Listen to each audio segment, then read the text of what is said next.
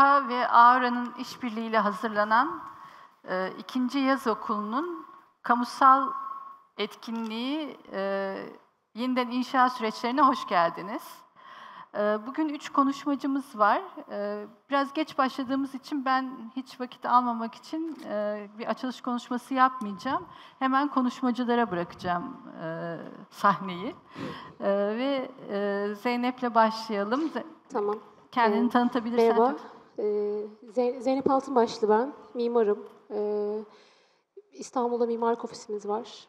İsmi Rasa Stüdyo. Ee, 2015'ten bu yana m, kent şehircilik üzerine çalışmalar yapıyoruz. Ee, bugün de aslında pek mimarlıkla alakası olmuyormuş gibi gelen başka bir konu anlatacağım ama e, neden ilgili olduğunu da e, sonradan bahsedeceğim diyeyim. Böyle bırak. Biz e, herhalde bir yılı aşkın süre önce e, Bünyamin Derman'ın başlattığı e, master plan çalışmalarının bir parçası olduk. E, bizden ba- e, ba- beklenen şuydu, e, bu çalışmaların bir yandan da e, paralel kolu olarak e, işte AMİK, e, özellikle AMİK havzası ve e, buradaki diğer coğrafyanın yani ilgili coğrafyanın e, doğa katmanlarının e, su, toprak gibi işte e, ve diğer e, medeniyetler, arkeoloji ve benzeri yani burayı bu yer yapan katmanların çalışılmasıydı ve bunu bir şekilde eşgüdümlü olarak master planla birlikte götürmekti. E, biz bir süre önce de İBB'nin açtığı Küçükçekmece yarışması e, da eşdeğer birincilik ödüllerinden birini almıştık. Yani biraz antrenmanlıydık bu konuda. E, böyle bir çağrı almamız da biraz bununla ilgiliydi. O yüzden e, hızlıca antrenmanlı olduğumuz konuda çalışmaya başladık. Bundan biraz bahsedeyim hızlıca. E, matrakçının 16. yüzyılda e, yaptığı bir temsil. Amik'le ilgili. E, bi- bizi çok etkilemiş bir şeydi. O yüzden hızlıca bahsedeceğim. Sol yukarıda bugün olmayan Amik Gölü'nü görüyoruz.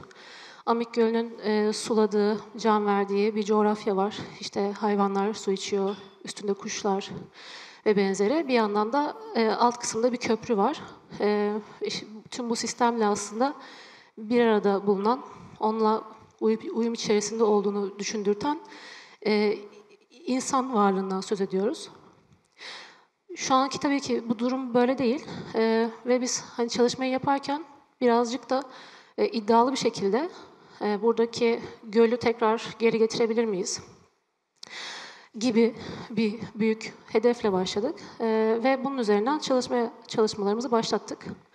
Bunu yaparken bir yandan da e, şey tabii daha büyük üst ölçüye çıkmamız gerekiyordu. E, ortada gördüğümüz büyük mavi leke amik, e, amik ovası.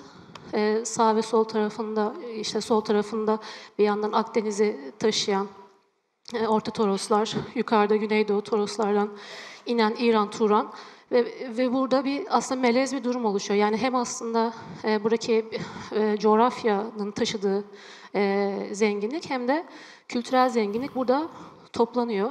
Ve bu- bunu gördüğümüz zaman aslında bir yandan da sistemi, oradaki çalışan ya da çalışmayan sistemleri anlamaya e, çalışıyoruz. Biz buna genel anlamıyla kültürel ekoloji çalışması dedik. E, bu şununla alakalı. E, burada çok zengin bir kültür var. Yani Antakya, işte Hatay bölgesi işte ya da tüm bu deprem bölgesi diyelim. E, çok zengin ve bu zenginliği yaratan şey tesadüf değil. E, burada insan ve onun e, doğal çevresiyle etkileşimi bunu üretiyor. Ve bu, biz bu etkileşimi kaybettiğimiz noktada da e, aslında burayı bu yer yapan özellikleri yitiriyoruz. Dolayısıyla bu çalışmayı kurarken e, araştırmalarımız biraz bunun üzerinden başladı. Yani o yüzden coğrafya ve mekan ayıramayacağımız bir noktaya geldi e, diyebilirim. E, yine benzer şekilde çok uzatmayacağım. E, bir harita ya bir ölçek üzerinden farklı katmanları ayrıştırarak bu yeri okumaya ve anlamaya çalıştık. Ben biraz hızlı geçiyorum. Bu çok büyük ve geniş bir çalışma. E, biraz özetlemeye çalıştık diyelim. Sonra yani burada biraz indiğimiz zaman e, Amik Ovası'nı görüyoruz. Burada tabii tesadüf değil. E, bir, yani beklediğimiz gibi Asi Nehri e, geçiyor ve bu e, bütün ovayı sulayarak e, işte Lübnan'dan doğup gelip sonra Samandağ'dan e, kendini Akdeniz'e bırakıyor. Yukarıda da bir kavşak noktası var. E, bugün işte e, kork, ya yok ettiğimiz e, Amik Gölü ve onun yukarıdan Anadolu'dan taşıdığı e, sistem, doğa sistemi. Ve bunlar burada bir kavşak yapıyorlar. E, işte çayırları, sulak alanları, bataklıkları oluşturdukları e, bir yer, bir zengin bir yer burası. Ama bugün maalesef o zenginliğini yitirmiş durumda. Burada işte bu büyük leke yukarıda şu göl ve aslında buranın bir nevi kalbi yani bütün e, şeyi buradaki hayatı, yaşamı pompalayan merkez. Böyle baktığımız zaman da ge- gerek büyüklüğü, gerek e, varlığının e, buradaki durumu bize bunun önemini anlatıyor. Göl buradayken bulabildiğimiz çok eski bir fotoğrafı. Tabii bir, zamana kadar e, bu doğayla ilişkimiz ondan hani insan evet antroposenden beri denen hani doğayı etkilemeye başladığımız bir döneme giriyoruz ama e, bu doğadan etkilenme, etkileme meselesi bir zamana kadar hep uyum içerisindeymiş aslında. Yani daha doğrusu o dengeler şaşmamış. O şaşmamışkenki halinde böyle bir durum varmış. Burası hemen Asi Nehri'nin kenarı. Yine benzer şekilde. Ee, sonra işte bir noktada bir şeyler oluyor, kötü bir şeyler oluyor ve e, maalesef böyle bir şey yapıyoruz. Bu, bu, aynı suyun e, merkezden e, şey, Antakya merkezinden geçerkenki durumu şu anda. İşte beton bir yatağa alınmış e, çünkü e, işte çeperinde bir yerleşme baskısı var. E, böyle olduğu zaman işte e, suyun ripariyen kuşaklarını kesip atıyoruz. E, su taşamadığı için yani bazen taşması gerekiyor, kendini bırakması ve çayırlar oluşturması gerekirken onu yapamadığı için e, derinleştiriyoruz. E, ve benzeri en son geldiği noktada e, aslında yaşamayan bir su kütlesi elde etmiş oluyoruz. Sadece tabii bununla sınırlı kalmıyor. Daha fenası göl. Göl bir noktada kurutuluyor. Ee, işte sıtma ve benzeri önce o, o tür şeylerle başlıyor. Daha sonra işte politik bazı kararlar neticesinde e, kurutuluyor. Hazır böyleyken tarım arazisi olsun madem deniyor. E, bu kadar çünkü büyük bir yer. Yani bu su yani. Gerek yok bunu kaldıralım gibi. E, ama şey yani burası su su olmaya yazgılı bir yer. E, tarım alanı olmaya yazgılı olmadığı için son derece verimsiz araziler elde ediliyor. E, tam o zaman havalimanı yapalımla sonlanıyor. Çünkü şey havalimanı olmak için de uygun, dümdüz bir yer çünkü. Belki gittiyseniz e, oradan da bazı insanlar var tabii burada. E, yani hak- hakikaten şey e, ova yani hani dümdüz bir yer. Aslında indiğimiz yer bizim havalimanı indiğimiz yer gölmüş. Ve e, bunu biz işte geçen gittiğimizde fark ettik. E, üstümüzde kuşlar uçuyordu ve inecek yer arıyorlardı. E, ama bulamıyorlardı. Çünkü şey sulak alan karakterini yitirdiği için maalesef orada e, o itişmeyi yaşadık yani biz. Ve son derece üzücüydü. Yani şu gördüğümüz halin içindeydik.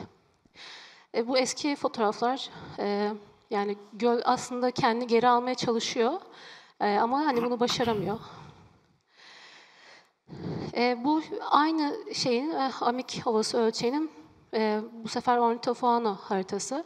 Yani e, kuş kuş kuşların önemli bir göç rotası üzerinde bulunuyor. Yine yukarıda gördüğümüz Amik, e, Antakya, Defne, Samandağ, Çevlik böyle uzayan bir sistem burası ve e, kuşlar için çok yani önemli ve kritik kışlama ve e, şey üreme alanı. E, bizim şey bu çok fazla sayıda kuş var ama biz bazı özel e, türleri koyup böyle bir harita yapmıştık. Şu rengi solanlar bizim e, yok ettiğimiz türler.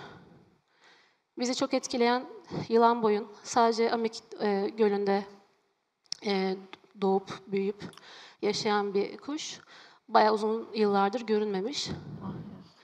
E, sadece bu diye bir yandan e, e, bizim Samanyolu haritası diye isimlendirdiğimiz bir e, medeniyetler haritası.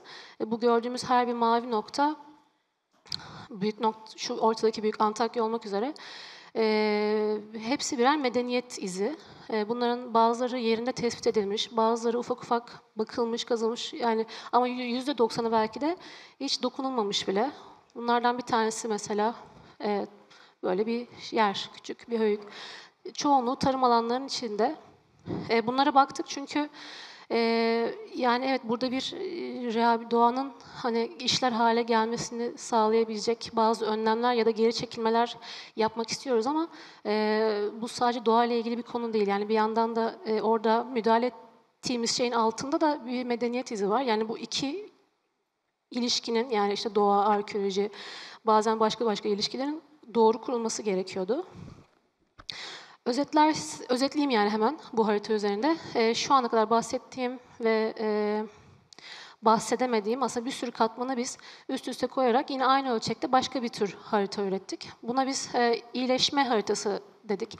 E, bazı işte bunların bazıları e, doğal derelerin işte rehabilitasyonu ile ilgili olabiliyor. Bazılarının bataklıkların e, geri kazandırılması olabildiği gibi bazen işte e, bir filtrasyon koridorunun, bir tarım koridorunun tekrar işler kılınması ve benzeri konular da olabiliyor. E, böyle bir çalışma yaptık. E, bunları kesit e, düzeyinde de tartıştık ve bazı prensipler elde ettik. E, bunlar e, jenerik şeyler değil aslında. E, çok sayıda yapıldı. Hepsi alana özgü. E, mesela bu Asya ve Küçük Asya nehirlerinin birleşiminde olan bir problem. Orayla ilgili acaba e, ne düşünebiliriz? Oradaki o çalışmayan konuyu nasıl çalışır hale getirebiliriz? ve benzeri çalışmalar. Biraz daha alt ölçüye inmek için zamanımız olmuştu. Yine e, mesela özellikle hipodrom bölgesi için yaptığımız bir çalışma. Orada e, hem arkeoloji aktif olarak sürüyor kazı çalışmaları hem de bir yandan e, aktif olarak tarım faaliyeti sürüyor.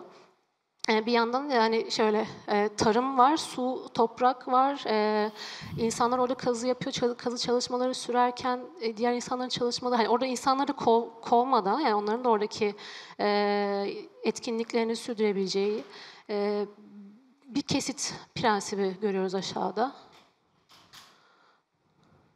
Yine benzer şekilde diğer çalışmalardan aynı bölge için.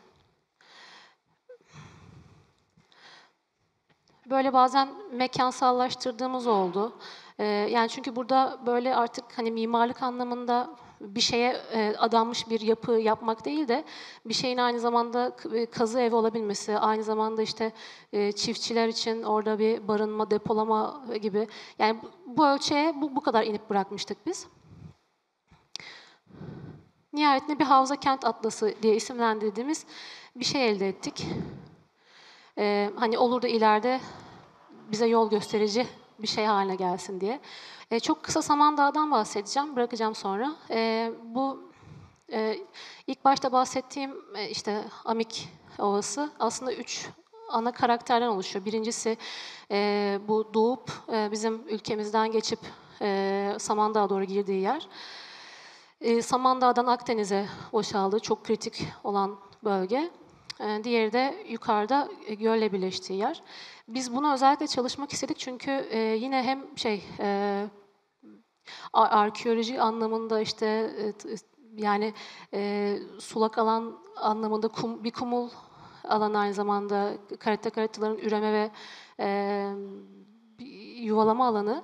Yani her şey üst üste. E, yandan da şey insan baskısının çok yoğun olduğu bir yer. E, gittiğiniz zaman öyle gelmiyor olabilir.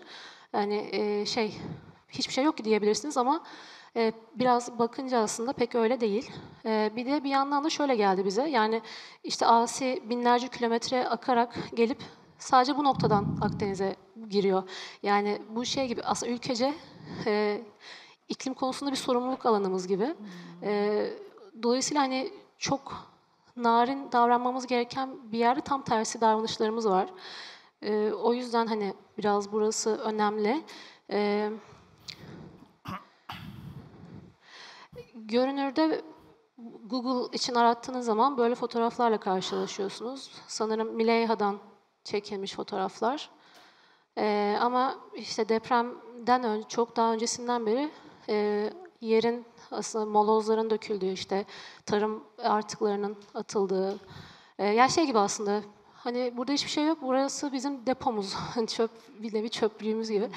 Öyle bir yani çok şey hani ayak bile değdirme normalde değdirmemeniz gereken hassasiyette bir yer. Ama e, maalesef böyle bir durumu var. Bunlar Ee, Avrupa'nın da en uzun kumsalı galiba. evet, evet, evet. Karette karettaların Aynen. Aynen öyle. Ee, burası için de böyle hani ha, çok çok uzun çalışacak zamanımız olmadı ama hızlıca bu tespitlerimizle birlikte bazı şeyleri en azından yine harita, önce harita ölçeğinde tartışabileceğimiz bir yere indirdik. Burada tabii belirleyici Samandağ yerleşimi var. Samandağ e, tarım faaliyetiyle aslında yoğun. E, ama yani görünürde bir şey yok gibi geliyor ama bir o kadar e, tarım faaliyeti bu kumsala doğru e, kendi ittirmeye başlamış ki bu sefer kumsalla arasındaki sınır e, bozulmaya başlıyor ve kıyı erozyon dediğimiz durum oluşuyor. E, tam bu iki sınırın arasında bir karayolu geçiyor. Bu Çevlik, Çevli'ye devam eden yol. E, o da tabii şey işte oradaki ekolojik köprüleri zayıflatıyor ve e, bozuyor diyelim. Gibi gibi yani birçok problem var. E, bu işte alanı tanımak için, tanıtmak için yaptığımız bir çalışma. Yani böyle bir şey var aslında. Hani baktığınız zaman nasıl bu kadar e, yani bu bölgede yani şöyle düşünün hem kumsal var, şey var, tuzlu su var, e, sulak alan var, çayır var, tarım alanı var ve benzeri ve benzeri. Hani bunların hepsinin aslında bir arada uyum içerisinde çalışması gereken bir şeyken biz bu e, şeyi burada çok parçalamışız.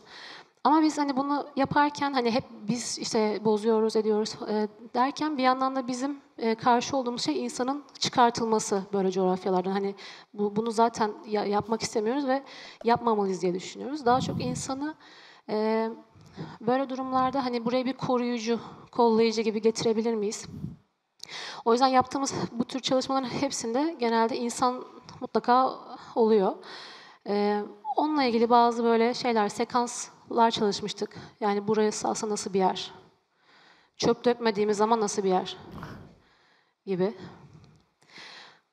Ee, yine böyle biraz e, fauna, flora onları tanıtabilecek bizi ve bizim de tanıyabileceğimiz çalışmalar. Son olarak bunları ekledim. Çünkü en başta söylemiştim yani biz aslında bir master planın parçası olarak yaptık bu çalışmayı. Yani bir yandan hani e, oradaki şehircilik de sürüyordu. E, bir yandan da bizim yaptığımız çalışmaların bu çalışmalara entegre olması bekleniyordu. E İşte evet hani şehir kuruluyor burada. E, Asi geçiyor, arkeoloji var vesaire tam. Hani bunlarla birlikte bu kentleşme nasıl olacak? Biraz yaptığımız çalışmaları e, bununla diyaloğunu yani kentle diyaloğunu anlatabilecek bazı çalışmalar. Bir iki tanesini koydum sadece bitirirken çok yüklenmeyeyim diye. E, yine bu sistemin nasıl birlikte uyum içerisinde çalışabileceğiyle ilgili bir çalışmaydı. Ee, yani şöyle son şey söyleyeyim. Hani e, şeyi tartışıyoruz bugün. Ee, yani yeniden inşa süreçlerini. Ee, biz evet böyle başladık çalışmaya ve bizim için e, hani bir kentin, bir yerin inşasında ya da yeni- yeniden inşasında olmazsa olmaz şeyler. Zaten artık günümüzde e, mimarlığın da alanına giren şeyler aslında. Yani biz mimarlar olarak da e, herhangi bir kent kurmamız gerek yok. Yani herhangi bir şey yaparken mekanla ilgili e, artık bu konuları gündemimize almamız gerekiyor. E, dolayısıyla hani kenti yaparken de kurarken de düşünürken de olmazsa olmazlarımız hatta şey hani bir katılım meselesinden bahsedeceksek bunlar da bizim diğer katılımcılarımız e, genelde göz ardı ettiğimiz yani oradaki kuşlar da bu yerin katılımcıları e, ya da işte to- toprağın kendisi de bu yerin katılımcısı. O yüzden hani biraz böyle alanı genişletip bakmak e, yani doğru olan gibi geliyor artık bugün yani baktığımız zaman hem mimarlığa hem şehirciliğe. şehirciliğe. Ee, böyle özetleyeyim ben. Teşekkür Evet. ederim. Ee, başında mimarlık olarak görünmüyor pek dedim ama e, 19. yüzyıldan beri hani mimarlığı hep böyle bir meydan okuma olarak görmeye alışığız. İşte Avrupa ve Balkanların en büyük konser salonu, en yüksek e, binası falan. Halbuki öyle bir yere geldik ki artık e, mimarlığı daha çok ihtimam eden, tamir eden, iyileştiren bir e, disiplin olarak görmemiz gerekiyor. Yani aslında bundan başka çaremiz yok. Bu böyle bir seçenek gibi evet, değil de. aynen, kesinlikle. Ee, onun için çok çok iyi bir örnek. Zaten çok özel bir alan. Tamir edilmeye ihtiyacı var. Dolayısıyla yeniden inşa süreçlerini artık inşaat yapmak olarak değil, tamir etmek, ihtimam etmek olarak görebiliriz. Çok iyi altını çizen bir proje. Çok teşekkür ederiz. Biz teşekkür ederiz. Şerif Süveydan'la Ee, Herkese merhaba. Ee, Ben Şerif Süveydan, e, mimarım. Ee, Tansel Hocam da ODTÜ'den benim hocam. Böyle bir tanı tanışıklığımız da var. Şey, tabii çok uzun yıllar oldu ODTÜ üzerinden geçtikten sonra. Biz daha, daha çok pratiği İstanbul'da e, yürütüyorum. Çeşitli ofislerde de çalıştım. Sonra kendim e, kişisel olarak da e, bu pratiği yürütüyorum. Ee, Biz Antakyalıyım aynı zamanda. Burada da yapacağım konuşma daha çok bir mimar değil de daha çok Antakyalı biri olarak yapacağım bir konuşma olacak.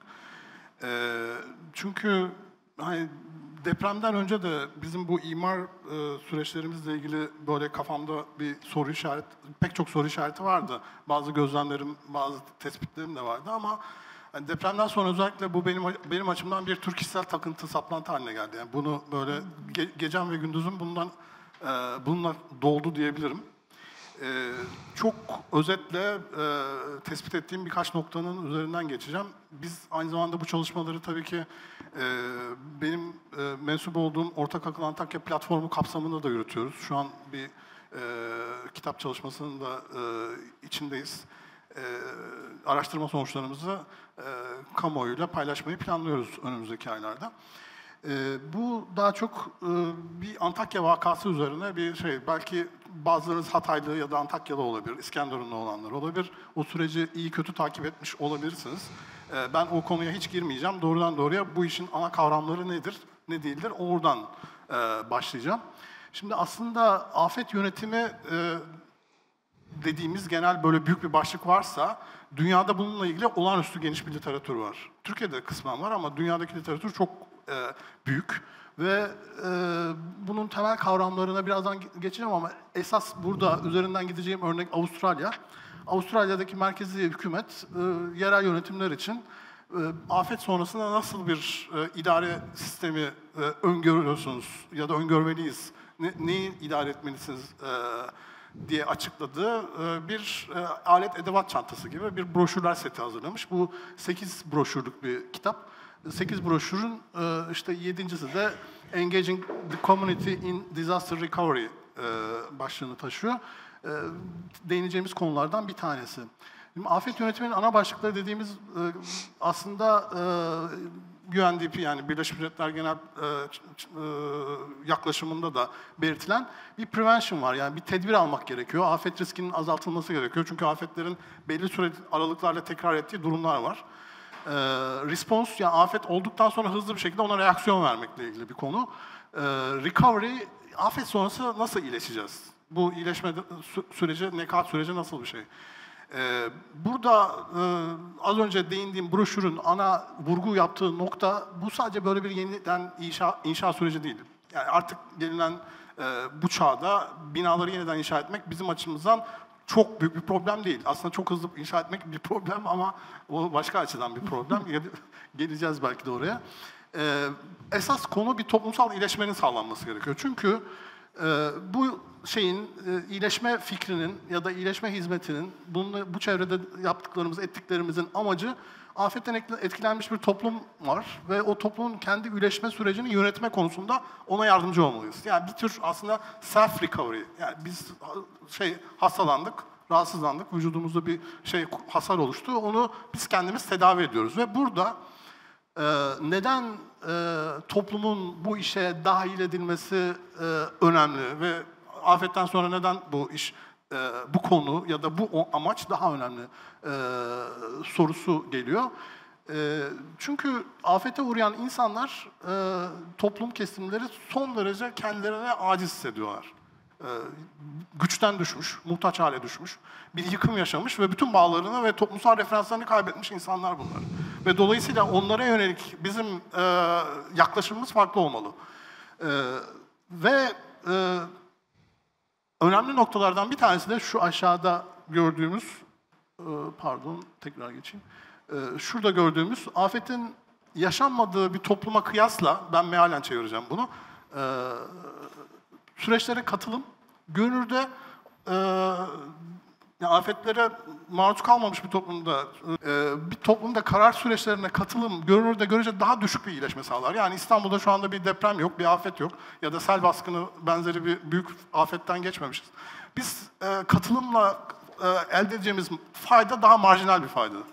Ama afetten etkilenmiş toplum, kendi izole olmuş bireylerin bir araya gelmesi, sosyal bağların yeniden tesis edilmesi, kendi kaderine tekrar hakim olma hissini kazanması nedeniyle çok daha kritik ve çok daha önemli.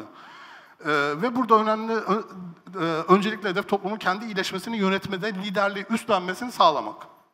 Şimdi ana kurulan çerçeve böyle. Toplumsal iyileşme için yapılı çevrenin konforu kadar önemli dört tane husus var. Yani biz binaları yeniden yapacağız belki, evet şu ya da bu vadede. Dört tane husus. Orada sosyal bağların yeniden kurulması gerekiyor bu insanların muhtaç statüsünden çıkarılması gerekiyor hızlı bir şekilde. Yeniden karar yetkisini kazanmaları ve kaderlerine hakim olma hissini kazanmaları gerekiyor. Yani aslında bir insan olmanın düşünürsek, kendi hayatımız açısından da bakarsak, insan olmanın belki de en belirleyici, en temel konulardan konularından biri kendi kaderine, kendi e, hayatındaki karar süreçlerine hakim olma hissi. Biz insanlar çoğunlukla aslında zaten bunun için yaşıyoruz. E, bunun için hayatta varız. Kendi hayatımızda düşünürsek şu okula gitmeyeceksin ama şurada şuraya gideceksin. Ya da şu e, meslek tercihini yapmayacaksın ama bu meslek tercihini yapacaksın. E, ya da şurada değil de ama burada oturacaksın. Ya da şu koşullarda oturacaksın. Yönündeki yaptırımlar bizim için en büyük hüsran nedenleridir. E, bunu aşmak, bunu e, bundan kurtulmak, bu e, cendereden kurtulmak için önemli. E, biz peki nasıl bu işle mücadele ediyoruz? Afetlere karşı Türkiye'de uygulama esaslarını belirten, belirleyen e, üç tane anayasa var. Bir tanesi çok yeni. E, ilki 1959'da şey yapılmış, e, yasalaşmış. 6, 7269 sayılı afet yasası. Bu aslında bizim ara ara haberlerde duyduğumuz e, işte hak sahipliği, e, afet sonrası ilk 3 haftada, 4 haftada kimin sorumlu olduğu ve orada çadırların ya da geçici barınmanın e, nasıl kurulacağı, yemeğin kim tarafından, İHŞ'nin kim tarafından temin edileceğini, sonra ileriki dönemde e, afete uğramış e, kişilerin zararlarının nasıl temin edileceğiyle ilgili genel çerçeveyi çizen bir yasa. Genelde buradaki mantık şu, afet oluyor ve biz ondan sonra devletin bazı kurumları gidiyor, sivil toplumla beraber, derneklerle beraber afetin sonuçlarını iyileştirmeye çalışıyor. Şimdi böyle bir çerçevemiz. Biz 90'lara kadar aşağı yukarı bununla geldik ve 90'lardan sonra tartışılan afet riskini azaltmalıyız. Yani esas konulardan bir tanesi afet riskinin azaltılması yönündeki bir e, şey. O aslında çok daha e, meşhur bir şekilde hayatımıza giren ve bizim kentsel dönüşüm yasası olarak bildiğimiz 6306 sayılı yasa. Bu afet riski altındaki alanların dönüştürülmesiyle ilgili bir yasa. Kamu idaresi belli yerleri görüyor ve diyor ki burada bir afet riski var. Dolayısıyla ben buna müdahale edeceğim ve e, siz şu anda hani oradasınız ama e, belli hani bu riski gördüğüm için ben e, bu müdahale yetkisini devralıyorum. Çünkü kendi başınıza bu işi organize edip çözmeniz mümkün değil. Ben burada kentsel dönüşüm alanları oluşturuyorum diyor. Ve bu biz e, bizim hayatımıza 2012'den sonra özellikle çok daha sert bir şekilde girdi tartışmaları zaten genel toplumda görüyorsunuz ve 2012'de bunun daha güçlü şekilde girmesini sağlayan olay neydi? Van depremi, 2011 Van depremi. Ondan sonra dediler ki biz yani her afet, her kriz bizim elimizdeki balyozu biraz daha büyütürsek bu işi daha iyi çözeceğimiz konusunda böyle bir şey veriyor. Ee, kendimize e, bir motivasyon sağlıyor ve balyozu biraz daha büyütüyoruz. Ee, işte 6A uygulaması getiriyoruz, buna ekliyoruz. Sonra o yetmedi. 6 Şubat depreminden sonra yepyeni bir yasamız daha oldu. Önce Cumhurbaşkanlığı kararnamesiyle çıkan olağanüstü hal kapsamında yerleşme ve yapılaşmaya ilişkin bir kararname bu. Cumhurbaşkanlığı artık neredeyse uygun gördüğü yerlere e, herhangi bir e, plan askıya çıkarmadan, kimseyle vaziyet planı bile paylaşmadan e, uygulama yapabilme etkisini kazandı ve bu sonra yasalaştı. Şu an sessiz sedasız yasal durumda zaten. Rezerv alan vesairesiyle ilgili. Şimdi bütün bu hikayeye baktığımızda aslında gördüğümüz tablo şu. Biz önce afetlerin nasıl çözülmesiyle ilgili e, ya da afetlerin sonrasındaki iyileşme süreçleriyle ilgili tek yönlü bir çabamız var. Ee, ama bunu giderek daha büyütmüşüz. Sonra bir, onu bir fırsata çevirip kentsel dönüşüm yasası adı altında süreklileşmiş bir afet rejimi kurgulamışız. Ve bu süreklileşmiş afet rejiminin önündeki son engelleri de tamamen ortadan kaldıracak bir kararname ve ondan sonra yasayla bu işi taşlandırmış durumdayız. Yani ve bu işin içerisinde, bu süreçlerin içerisinde tabii ki e, şey yok, e, halk yok, yani toplumsal katılım vesaire yok. E, onun ötesinde e, son derece kapalı bir şey, e, idare sistemi e, bu. Burada aslında bu süreçte ben, ben pek çok sorun, hani bunun üzerine ciltler dolusu kitap yazılabilir belki ama ben üç tane soruna değineceğim burada. Bir kurumsal organizasyonun karmaşıklığı belirsizliği. İki, tercih edilen çözüm yöntemleri ne ölçüde verimli? Ta 1959'dan başlayarak ne ölçüde verimli bu işleri hallediyoruz konusunda herhangi bir test ve analiz sonuçlarımız yok. Yapmıyoruz böyle şeyler. Neden acaba? Sonu geleceğiz. Ee, bir de karar süreçlerinde yerel idarelerin ve toplumun etkin rolü yok buralarda. Hep merkezi idare bu işi bir şekilde devralıyor. Hiç kimseye de soru sormadan paldır küldür girişiyor bu işlere ve e, bu konuyu kendi uhdesinde değerlendiriyor. Bu bir şey, yani kararlar konusundaki bütün şeyi, yetkiyi kendi üzerine alıyor e, genelde. E, ve kapalı karar süreçleri ileride daha başka komplikasyonlar yaratıyor. E, birden başlayalım. Kurumsal organizasyonun karmaşıklığı ve belirsizliği. Solda gördüğünüz, başlarken değindiğim Avustralya'daki bu Disaster Recovery Toolkit for Local Government kitapçıklarından birinden alınmış olan organizasyon yapısı. Orada gördüğünüz kadarıyla organizasyonun merkezinde e, belediyeler var. Ona asiste edecek government partners var aslında şeyde. Community bir parça işte vesaire. Yani aslında bu grafiği gördüğünüz zaman kafanızda aşağı yukarı bir imaj canlanıyor. Yani ne nasıl bir idare yöntem olacağını orada tahmin edebiliyorsunuz. Bu iyileşme süreci nasıl yönetilecek, nasıl idare edilecek konusunda. Soldaki de Hatay Planlama Merkezi ki İPA'nın kardeş kuruluşu olduğunu söyleyebilirim. E, onların e, bizim şu anda Hatay'daki kurumlar ve aktörler tablosu. Şimdi bu tablo anlaşılır bir şey değil. Burada bir organizasyon yok. Aslında sürecin bu kadar karmaşık görünmesi ya da bu kadar çok aktör olması ortada e, tamamen bir şey, aldatmaca. Çünkü gerçekte bunların çok çok büyük kısmı karar verici falan değil. Karar çok az kişinin erişebildiği kapalı mahfillerde alınıyor. Dolayısıyla bu kadar aktör ama bunların çoğu o sürecin nezaretçisi gibi bir, bir durumdalar. Ya da bazen hizmet alıcısı vesaire, hizmet vericisi vesaire pozisyondalar. Şimdi bu bir sorun. İkinci bu konu tercih edilen çözüm yöntemleri ne ölçüde verimli? Ben bu olay olduktan sonra ilk baktığım şeylerden bir tanesi Gölcük depremi. İşte 99 Gölcük ve dep Düzce depremlerinden sonra biz ne yapmışız? Bu konuyla ilgili ne yapıyoruz? Van depremlerinden sonra da, Van depreminden sonra da benzer bir e, şey çalışma yapılması lazım. Biz e, o zaman da maşallah devletimiz pazuları çok güçlü kuvvetli. O zaman da o dönemin işte bazı inşaat firmaları var. Onlar da çok güçlüler. şey ihale alıyorlar vesaire. E, bakan çok hızlı bir şekilde e, bazı e, kendisi bu işi kotarabileceğini, kaldırabileceğini düşündüğü inşaat firmalarıyla temasa kuruyor. kuruyor. O dönem başka bir parti var tabii. Şu andaki partiden başka. Yani bunları söylememin sebebi şu. Hani bu bizim şu anki sadece hükümete has bir durum değil. Öncesinden de başlayan bir araz var burada. Bizim karar süreçlerinin nasıl alındığıyla ilişkili e, ve nasıl bu işi kotardığımızla ilgili. Ve onlar 2-3 e, yıl içerisinde sadece 27 yer, yeni yerleşim bölgesinde 47.700 tane konut birimini tamamlayıp depremzede hak sahiplerine teslim ediyorlar. Bu depremzede şeyleri e, nasıl peki? Yani bu olağanüstü bir kaynak. O dönemde Murat Balemir, ODTÜ Şehir Planlama e, ve Kentsel Tasarım şeyleri bölümlerinin e, öğretim üyesiydi. Onun verdiği bilgiye göre o dönemde bir iki ya da iki yıl boyunca Türkiye dünyada en çok konut üreten ülke. Düşünün yani inanılmaz bir üretim kapasitesi var. Peki bunun sonuçta bıraktığı iz ne? Biz olağanüstü bir yatırım yapıyoruz. Böyle biraz Türk sosu katılmış, şehir dışında dağlarda, bayırlarda bulabildiğimiz alanlarda deprem konutları inşa ediyoruz. Bunların sorunu çözüp çözmediği hakkında herhangi bir şeyimiz var mı? Yani siz basit bir şirket olsanız bile herhangi bir yatırım yaptığınızda o yatırımın verimliliği ile ilgili bir geri dönüş analizi istersiniz değil mi? 2002 yılında ODTÜ Şehir Bölge Planlama Bölümü öğrencileri kalıcı konutlarının e, olduğu yerde bir saha çalışması yapıyorlar ve üçte biri boş, üçte biri başkalarına, başkalarına kiralanmış. Sadece üçte birinde depremzedeler oturuyorlar. Yani siz yatırdığınızda yüzde otuz üçünde ancak verim alabilmişsiniz. Van'da durum ne şu anda? Bence daha berbattır ama onu söylemeyeceğim. Yani çünkü bununla ilgili, bizim bununla ilgili araştırmamız çok az.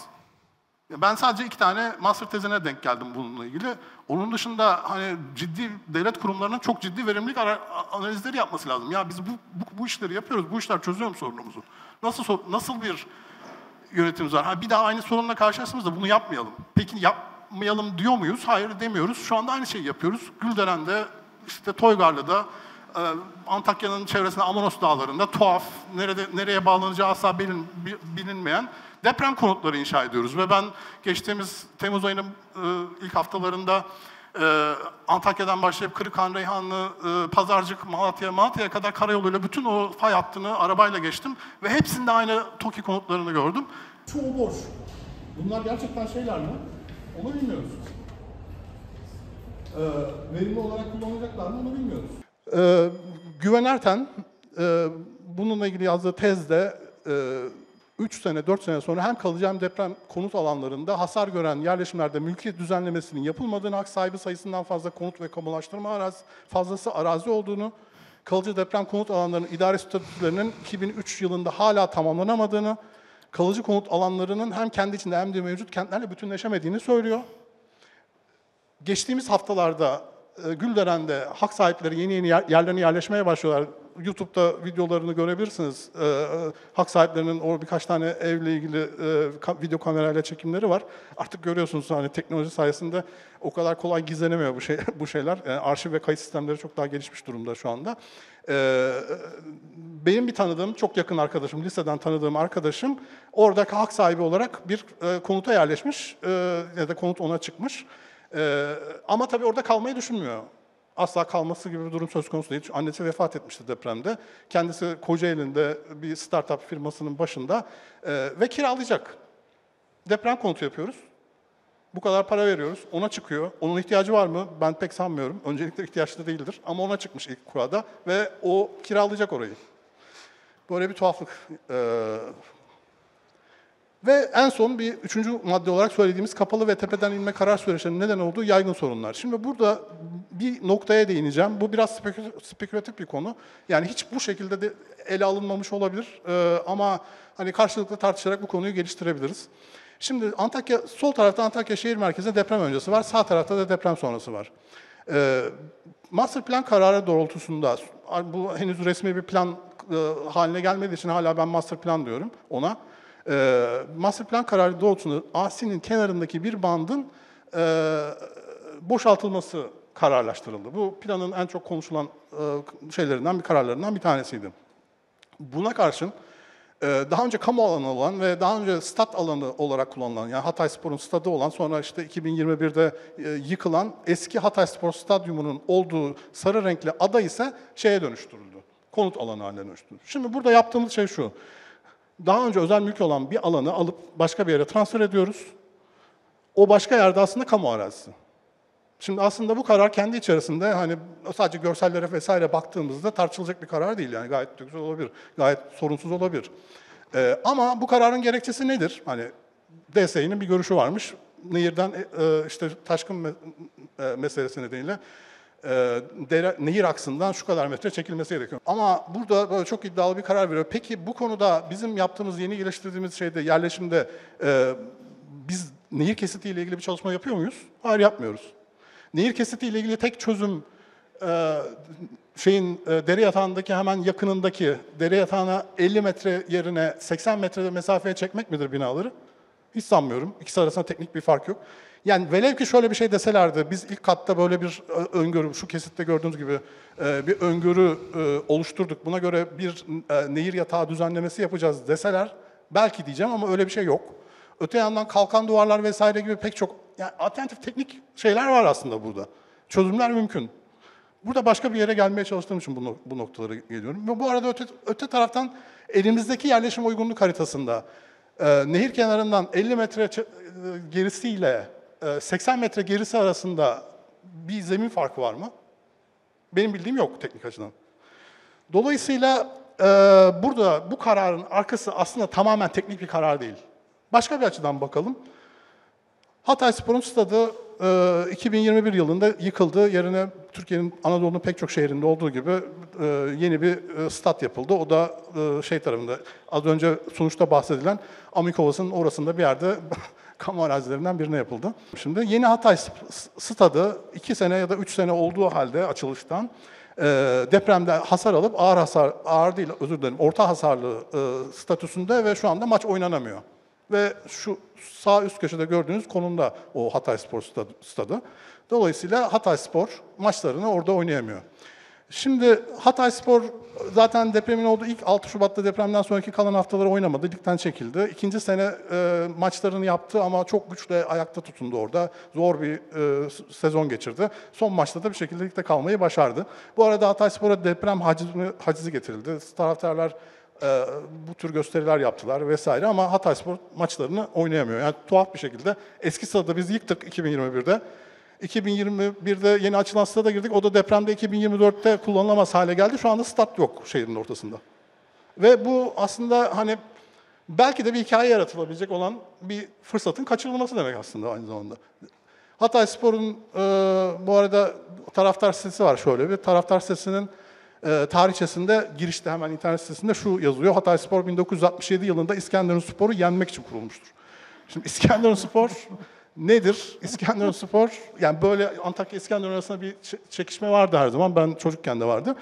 Ee, ya bunlar zaten bir şehre dinamizm, dinamizm ya da sosyal hayatın hareketlilik kazandıran etkili unsurlardır yani. Bir festival havası yaşatır şehre, maç günleri vesaire.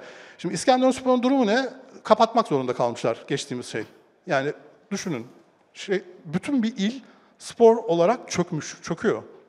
Yani sosyal açıdan çöküyor vesaire. Ta sunuşun başındaki sosyal bağlar vesaire konusuna tekrar girmeyeceğim ama oraya ayrıca tartışırız. O bağlamda da tartışılabilir. Ve biz şu anda bu eski Atatürk Stadyumu alanını devasa bir kazı alanı haline çevirmiş durumdayız. Neden orada konut yapacağız? Şimdi bu kararın kaçınılmaz bir teknik sonuç olduğunu bana kimse anla- anlatamaz. Hani ben buna ikna olmuyorum ama bilmiyorum. Başka bir şekilde tartışırsak kaçınılmaz teknik bir karar mıdır değil midir tar- tartışırız ama bence değil. Bir tercih. Ama biz bunları nasıl pazarlıyoruz? Diyoruz ki bu işte teknik şu şu gerekçeyle deprem nedeniyle şöyle karar aldık diyoruz. Peki bu ne, ne sonuçları doğuruyor? Sol tarafta o sonuçlara bakalım. Antakyalıların hafızasında stadyumla özdeşleşmiş bir mekan, bir mekanın ve kamusal alanın kaybı. Çünkü Hataylılar ya da Antakyalılar çocukluklarından beri bilirler ki stadyum oradaydı.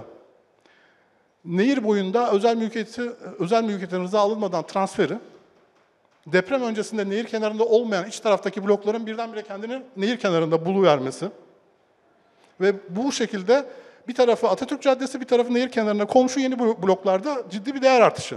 Yani sizin yaptığınız bir hareket, bir hamle sadece mimari tasarım kararları ya da işte şununla bununla ya da şu teknik karar ya da bu teknik kararla karşılanamayacak ya da bununla anlaşılamayacak komplikasyonlar doğuruyor. Bu kararı bir de kapalı kapılar arkasında alıyorsunuz. Hiç kimseyle bir rıza mekanizması, bir şey alışveriş yapmıyorsunuz. Sonuçta ne oluyor? Kapalı karar alma süreci nedeniyle şehirde söylentiler çıkıyor.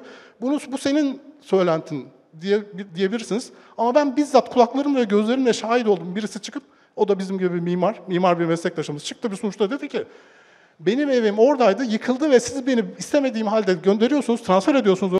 Ve bu tür söylentilerin sonu gelmiyor. Şu an Antakya'ya gittiğiniz zaman herkesin işte İl Kültür Müdürlüğü'ne ulaşmaya çalıştığını, ya da işte e, il şehir müdürüne ulaşmaya çalıştığını, rezerv alanında mıyım ben, rezerv alanından nasıl çıkacağım, oraya girmeli ya da girmek istiyorsam nasıl gireceğim diye bu tür kapılar aşındırdığını, herkesin kendi yolu ve yöntemi doğrultusunda o kapalı karar mekanizmasına ulaşmaya çalıştığını görürsünüz. Şimdi 1960'larda belki bu süreç işliyordu çünkü zaten elitler çok azdı. Gidip Ankara'ya atlayıp işte senatörle ya da milletvekiliyle konuşabilecek işte insan sayısı çok azdı ve hani bir şekilde belki yürütüyorlardı ama onun da sonucunda geldiğimiz şehri ve planlama süreçlerinin ne olduğunu gördük. Yaşıyoruz yani o, son, o fiili süreci. Ve biz şu anda bunu yürütmemiz mümkün değil ve biz hala bunu anlamış değiliz. Ve belki de işin en önemli noktası bu. Şimdi alternatif bir senaryo kuralım. Sadece çok basit bir şey, akıl yürütme. Eski stadyum alanında fişelik elemanlarla geçici bir spor kompleksi, kompleksi tesis etsek mesela. Hatay Spor deprem sonrası iyileşme sürecinde maçlarını şehir merkezinde oynasa. Orada her pazar ya da işte iki haftada bir pazar bu etkinlik cereyan etse. Nehir boyundaki parseller için yapısal ve mimari standartlar oluştur, oluştursak, nehir kesiti çalışsak vesaire orta uzun vade için ve yeni Hatay Spor'un orta vadede tekrar onarılacağı güne kadar beklesek. O ayrı bir konu olarak ileri uzun vade strateji olarak kalsa. Şimdi ben şu iddiada değilim. Sağdaki strateji daha iyi, sağdaki karar daha iyi. Şimdi bunu böyle diyor musunuz? Diyor musunuz? Demiyor musunuz diye bana soracak olursanız benim ben bu konuda bir fikrim yok. Ben insan merkezli buldum. Efendim? Çok insan merkezli buldum. Ama bilmiyorum hangisinin daha iyi sonuç vereceğini ben ben bilmiyorum ama sonuçta bu karar kapalı kapılar arkasında alındığı zaman son maddedeki komplikasyonlar oluşuyor. Ve bizim imar felaketimizin en büyük nedeni bu. Bence bu. Ee, kapalı ve tepeden inme karar süreçlerinin neden olduğu yaygın sorunlar, yani buradaki az önce söylediğim gibi tasarım kararını sorgulamak istemiyorum. Tasarım kararı ile ilgili bir derdim yok benim. Teknik, bu teknik bir karar değil. Bu bir tercih. Her tercih olduğu gibi kent toprağına da müdahale edildiği için siyasi bir karar demek. Dolayısıyla bu kararın aslen siyasi olduğunu görmek zorundayız. Karar teknik kriterlere bağlı olmakla birlikte sadece teknik gerekçelerle belirlenemez. Kapalı mekanizmalar halkta idari kurumlara karşı plan ve plana karşı, bizzat plana karşı güveni zedeler. Bu nedenle planın uygulama iradesi ve şansı ortadan kalkar. Herkesin kendi yöntemleriyle kapalı karar mercilerine ulaşmaya çalıştığı bir kaos ve belirsizlik ortamına neden olur. Sonuç bu. Biz sürekli olarak aynı sonucu tekrar ediyoruz. E bir tarafta o zaman şey, hayaller var, bir tarafta gerçekler. O paravanlarda renkli görseller asıyor. Vali işte sosyal medyada sürekli takip ediyorum. E, drone çekimleri, müzik bindirilmiş drone çekimleriyle işte şunu açıyoruz, bunu yapıyoruz vesaire. Kendince siyaset iletişimi yapıyor. E, gerçekler ama çevre yoluna, mesela Antakya'ya gittiyseniz görmüşsünüzdür. Çevre yolu ve İskenderun yolunun çevresinde nasıl bir yeni oluşumun şekillendiğini görmüşsünüzdür belki. Orada deprem kondu şeklinde işte künefeciler, tatlıcılar, bilmem neciler falan filan. Daha önce de siz doğmadan önce, ben çocukken, benden önceki hatta ben de doğmadan önce aynı konu gece kondular için vardı. Aynı konu. Bu e, hayaller ve gerçekler dediğim iki şey arasında aslında e, şunu mutlaka bir vurgulamak gerekiyor. Kapalı karar alma süreçlerinin temel açmazları, ya bu şehir aktörlerin dahil etmediğiniz bir süreç olduğunda, çünkü bu şehir denen e, kompleks mekanizma çok katmanlı ve çok karmaşık. Pek çok insanın içerisine girip dahil olduğu ve içinde ancak rol aldığı zaman dönüştürdüğü, aktif olarak değiştirebildiği bir şey. Ve siz e, süreçleri kapalı tutmaya çalıştığınız zaman bunun otomatikman bir sonucu oluyor. Şu, e, sizin müdahale kapasiteniz çok düşüyor. Aynı zamanda çok dar bir alanda ancak Türkiye mesela konut sorununu çok uzun zaman boyunca çözemedi. Standart işte devlet konutları çok kısıtlı bir alanda kaldı. Gece, geri kalanlar kendi konut sorunlarını kendileri ne halleri varsa görsünler şeklinde çözdüler. Çözmeye çalıştılar. Onları da zaten görmedik ve Türkiye tamamen seçimsiz bir diktatörlükte olmadığı için ara ara onların yaptıklarını da rıza göstermek zorunda kaldık. Görmek, göz, görmezden gelmek, gözümüzü yummak. Orada ne oluyorsa artık. Bu arada bütün kaynak tahsisini de merkeze akıtmak o deprem konutlarına, merkezdeki tuhaf şantiyelere vesaire vesaire. Bunu kimseye sormadan. Oradaki kaynak transferinin ana hortumu çünkü elinde tutmak istiyoruz. Kimseye danışmak istemiyoruz bu konuda. Asıl konu orada. Ve planlama o zaman sahadaki fiili duruma yönelik stratejik bir hamle olmaktan çıkıyor. Stratejik bir plan değil. Bir hayal. Yani böyle iletişimi yapılabilecek, reklam filmi çekilebilecek bir hayal. Ama sahadaki fiili gerçeğin çok düşük bir kısmını, az bir kısmını belirliyor ve kalanı tamamen şu an Antakya'nın çevresi, çevresinde gördüğünüz, çeperlerinde gördüğünüz manzara. Evet, onun için hayaller ve gerçeklerdi. Peki bitiriyorum, çok uzattım kusura bakmayın ama beş tane acil temel ihtiyaçtan bahsedeceğim. Tespit edebildiğimiz bir kere özerklik. Özerk ve şeffaf bir koordinasyon ve planlama ofisi olmadan bu işlerle biz yani, verimli sonuç alamayız. Bu mümkün değil. Yani bu mimari tasarım becerisi ya da mimari tasarım konusu değil. Bunun mimarın mimar olması, işte plancının plancı gibi olabilmesi, müşterinin müşteri, kentlinin de kentli gibi olabilmesi için bizim önce bu sürecin ana organizasyon yapısını ve strüktürünü doğru bir şekilde oturtmamız lazım. Ve bu işte eğer bu hikayeyi anlatırken e, halk çıkarcı ve cahil, dolayısıyla siyasetçiler de onları kandırıyor. İşte biz onun için şeyde, halbuki bu teknik bir sorun. E, pankreas e, ameliyatını doktor şeye mi soruyor, hastaya mı soruyor? Gibi bildik açıklamalar yaparsak ve bunlarla iktifa edersek kendimiz temiziz ama onlar kötü. Şeytan siyasetçiler vesaire dediğimiz sürece aynı masalı anlatmaya devam ederiz ve aynı yenilgileri sürekli sürekli yaşarız. Müzakere önemli bir başlık. Şehir aslen az önce söylediğim kişilerin, grupların müzakeresi üzerine kurulur. Çünkü tekil bir iyi, iyi yok. Senin iyin öbürünün kötüsüdür. Birinin bu gruplar mesela diyelim ki Antakya'da şehir merkezindeki köy garajları. Köy garajlarındaki grupların çok büyük kısmı masa başına otursa birbirleri tam anlaşamayacaklar. Çünkü hepsi birbirinin ayağına basıyor. Gerçekte, realde. Hepsini mutlu edecek bir çözüm bulamazsınız. Zaten evet yani ben çok mutluyum dediğiniz bir çözüm varsa o iyi bir çözüm değildir demek. Müzakere etmelerini ve bunun sağlayabileceği mekanizmaları bizim oluşturmamız gerekiyor. Başka bir çare yok. Etaplama zaten hani bu açıklamaya bile gerek olmayacak bir şey. Çünkü bu kadar devasa bir şey yeniden iyileşme ya da yeniden inşaat sürecini böyle hani biz şu anda planı yaptık ve burada bu şekilde ilerliyoruz demek tuhaf. Yani olmaz yani zaten böyle bir şey. Onun için bizim mutlaka bunu etaplara bölmemiz, bazılarını geçici müdahaleler olarak düşünmemiz lazım. Durum sağ tespit raporları üzerinden. Veri şeffaflığı çok önemli. Bizim devletimiz aynı zamanda veriler konusunda olağanüstü ketum bir kurum, devlettir. Veri paylaşmaz. Şu an mesela AFAD'ın e, kaç tane geçici yaşam alanı e, idare ettiğini biliyor musunuz? Bilen biri var mı? Yok. Hangi geçici konteyner alanlarında kaç tane konteyner birimi var? Bunu biliyor musunuz? Buna, bu verilere erişebiliyor musunuz? Onların içerisindeki nüfus ne? E bunları bilmeden nasıl bu konuda proje ya da şey strateji belirleyebilirsiniz ki? Veri şeffaflığı olmadan kaç tane hak sahibi var? O hak sahipliği hangi kriterlere göre belirlendi? Kaç tanesine konut verildi? Kaç tanesi hangi ekonomik ve sosyal koşullarda?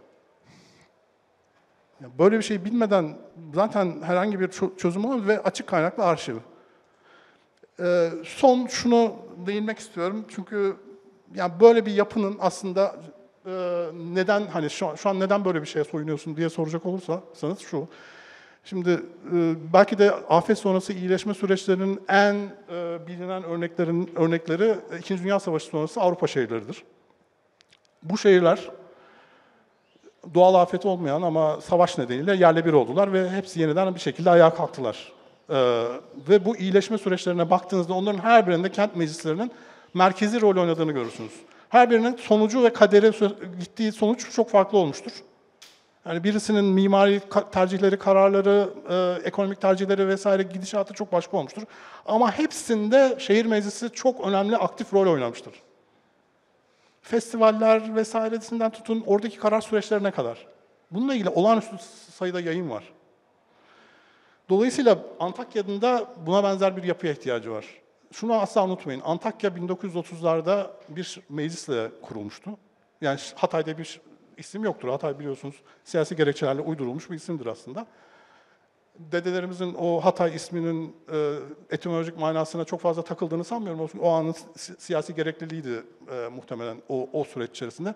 E, göz, gözden kaçırılmaması gereken bir, kaçırılabilecek bir detay olarak görmüşlerdir muhtemelen onu. Ama sonuçta Hatay'ı bir meclisle kurdular. Ve Hatay kurulduğu zaman inanın bugünkünden çok daha bölünmüştü. Hikayede anlatıldığı gibi değil. Fastest in the River diye bir çok güzel bir kitabı var. Ee, şeyin onu tavsiye ederim. Toplumsal sorunların çok daha yoğun, akut olduğu bir dönemde bu meclisi kurabildiler. Ve kararları orada aldılar, almaya çalıştılar. Bu, bu bir deneyim ve tecrübedir. Tekrar onun üzerine durulabilir diyorum. Ve son olarak aslında bu tür bir, yani az önceki diyagramda aşağıdaki planlama ofisi dediğim yerin e, rolünü üstlenebilecek Hatay'da bir kurum vardı. O Hatay Planlama Merkezi idi. E, Deprem sonrası aşağı yukarı yayınlanan bütün raporlara ve o sağ okumalarına baktığımda ne yaptığını en fazla bilen, en fazla ne yaptığını farkında olan kurum olarak Hatay Planlama Merkezi'nin olduğunu söyleyebilirim şey açısından. Yani bu, tür bir problemle nasıl baş edilir konusuyla ilgili planlama fikri ve strateji, sağ gözlem raporlarının yayınlanmasıyla, e, veri şeffaflığı ve açık kaynak kullanmasıyla buydu. Ama onun siyasi bir desteği olmadığı için hiçbir şekilde işlevsel olamadı. Çünkü karar her zaman siyasi bir karardır. Siyasi bir destekle ancak yürü- yürüyebilir. Onun organizasyonunun farklı bir şey- şekilde düşünülmesi ve yapılması gerekir diyorum. Uzattım, çok özür dilerim. Rica Bitiriyorum.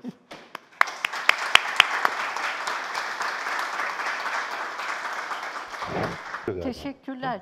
Ee, Yani e, birçok şeye katılıyoruz tabii ki. Yani sadece Hatay'ın değil, bütün Türkiye'nin problemi konuştuğun her şey, bahsettiğin her şey. Ama tabii afet zamanında iyice dayanılmaz ve çekilmez oluyor. Bir tek bir şeye katılmıyorum. Evet siyasi bir şey ama siyaset e, nasıl birlikte yaşarız sorusunun cevabı ise şimdi nasıl birlikte yaşarız da sadece insanlar nasıl birlikte yaşarız diye cevap veremeyiz. Bütün canlılar ve cansızlar nasıl birlikte yaşayabiliriz sorusu. O zaman da asi çok önemli bir aktör olarak ortaya çıkıyor ve onun taşkın zonu da aslında yani bence dar o bant. Onun daha çok genişletilmesi lazım aslında. Bu yani bizim şeye hem o coğrafyaya hem de asiye bir borcumuz diye düşünüyorum. Ee, merhabalar, ben e, Sinan Omacan. Ee, esas itibariyle serbest mimarım, İTÜ mezunuyum.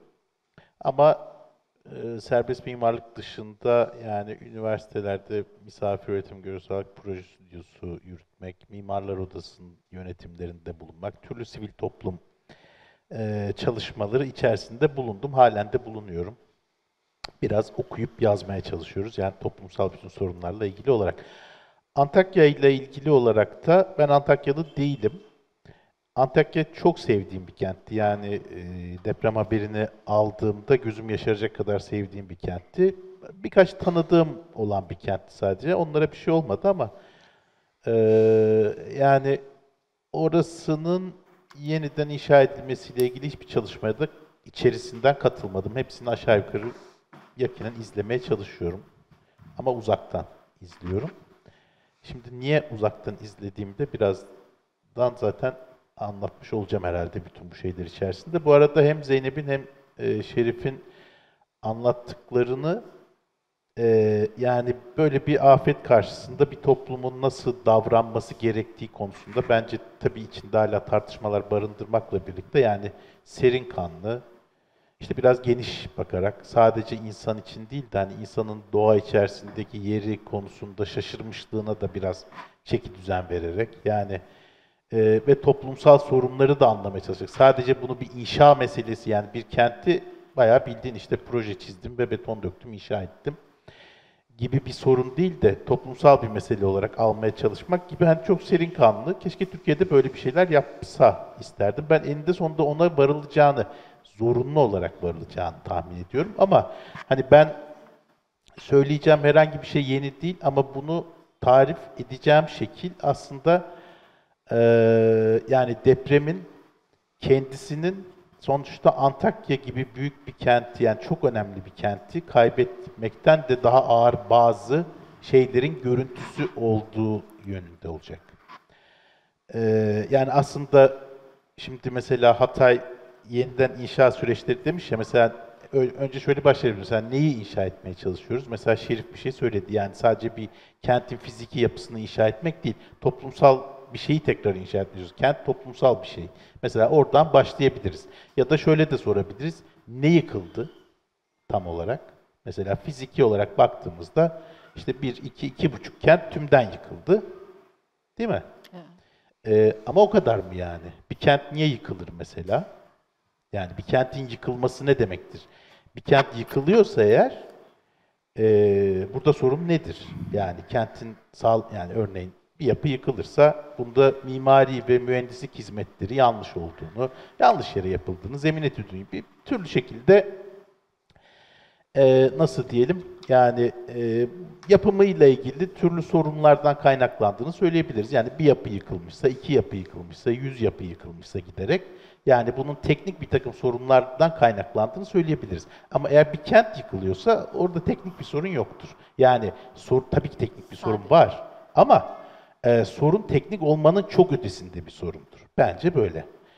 E, şimdi ben önce hemen yani sunuşun başlığını açıklarken size neyi kastettiğimi de söyleyeyim ama sonra bunu tekrar konuşacağız. Habitus kelimesini belki biliyorsunuzdur. Bir toplumu o toplum yapan şey, ayırt edici alışkanlıkları, ezberleri, iyisiyle kötüsüyle yani e, o toplumu o toplum yapan davranış kalıpları, inanç, düşünce biçimi kalıpları diyelim. E, yani mesela Türkiye için söylersek hani sizlerin belki herhalde sizde denk geliyor olmuş olmanız lazım. Ben gençliğimden beri hiç alışamadığım şeyler vardı. Hani Türkiye ile ilgili yani işte Türkiye'nin e, yani Türkiye işte böyle bir yer, burada işler böyle yürüyor, burada şunlar şöyle olur. Türk halkı böyle bir halk. Türkler böyle insanlar dediğiniz ne varsa bence onların hepsi çöktü. Ona habitus diyoruz. Yani e, bir toplumun o toplum yaptığı düşünülen alışkanlık, davranış kalıpları bence onların hepsi tümü hatalıydı ve onlar depremle beraber çöktüler. Biz bunu kabul etmiyoruz. Şu anda olan bu. Bence o, o konuda debeleniyoruz hala.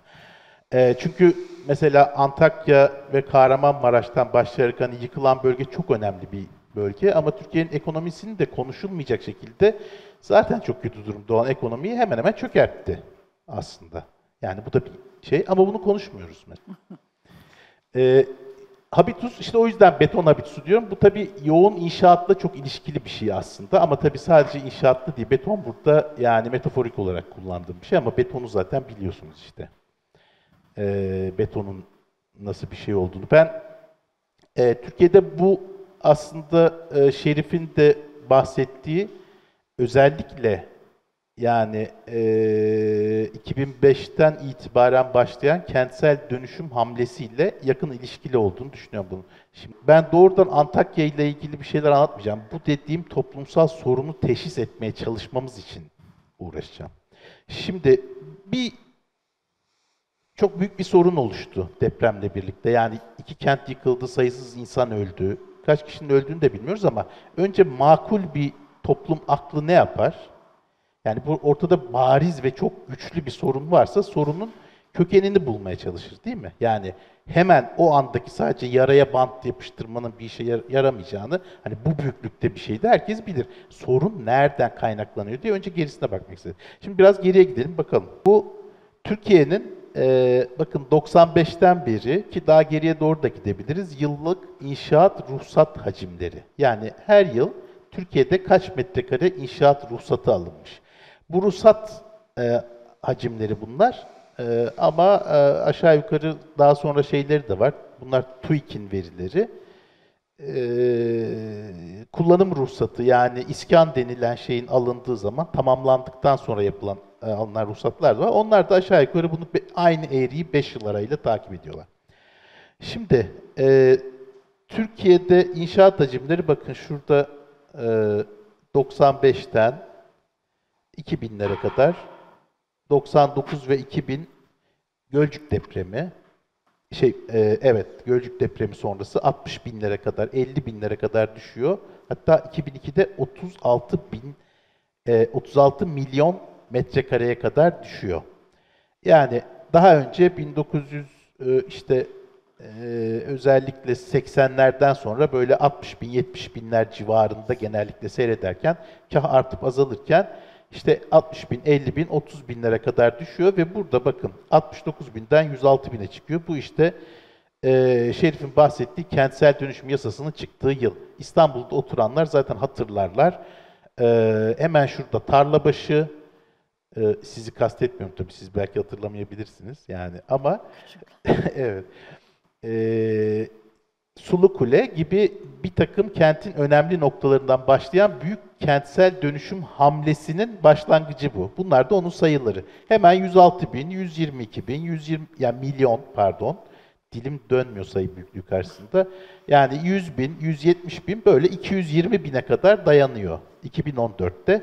Daha sonra buradan sonra yavaş yavaş yani 2017'de bir istisnai bir şeyle e, 287 bine kadar çıkıyor. Sonra düşmeye başlıyor yavaş yavaş. Ama bu inşaat artışı öyle bir inşaat artışı ki bakın önce bir boyutuna bakalım.